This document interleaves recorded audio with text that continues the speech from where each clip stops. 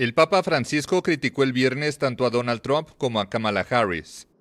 A bordo del avión que lo llevó de regreso a Italia tras una gira por el sureste asiático y Oceanía, el pontífice respondió preguntas de la prensa sobre varios temas, incluidas las elecciones presidenciales en Estados Unidos.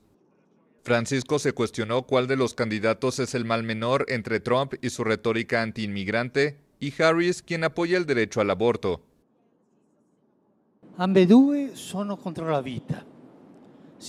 Ambos están en contra de la vida. Uno descarta a los migrantes y la otra mata a niños. Ambos están en contra de la vida.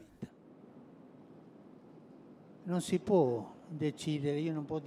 No puedo decidir, no soy estadounidense, no voy a votar allá.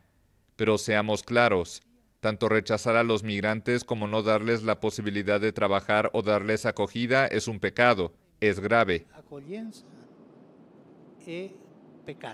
grave. Trump colocó a la inmigración, una de las principales preocupaciones de los votantes según las encuestas, en el centro de su nueva candidatura a la Casa Blanca.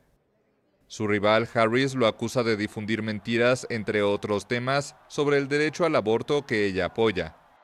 Cuestionada al respecto, la portavoz de la Casa Blanca, Karine Jean-Pierre, afirmó que el Papa habla por sí mismo y dijo que no conversó con el presidente Joe Biden sobre los comentarios específicos del Papa. Jorge Mario Bergoglio, de 88 años, recorrió países como Indonesia, Timor Oriental, Papúa Nueva Guinea y Singapur, en un viaje que le permitió despejar dudas sobre su estado de salud poco más de un año después de someterse a una importante cirugía abdominal.